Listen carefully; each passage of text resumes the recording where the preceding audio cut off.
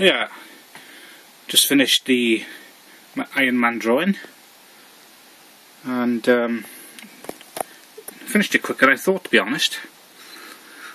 Once I got the red down um, and a bit of the highlights was, was all pretty quick. So, a bit of a zoom in. These are the bits I was talking about in the other video. I used the Posca pen for extra bright highlights which I spread about different places. Uh, there and there.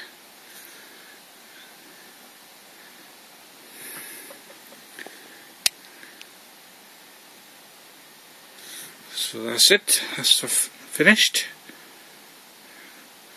I was thinking of doing a blue background it would take a lot of uh, a lot of pen, a lot of ink to do that. Um,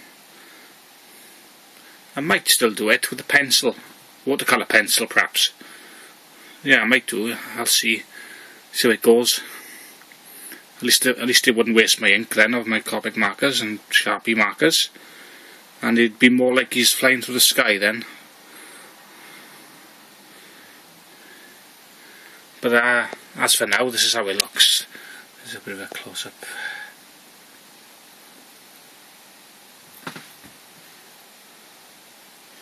I'm happy with it, it's, it's okay. Turned out alright, I think.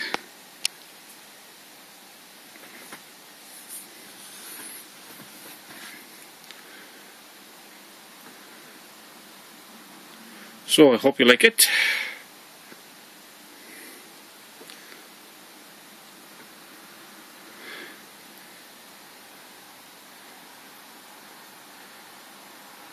and I'll see you soon.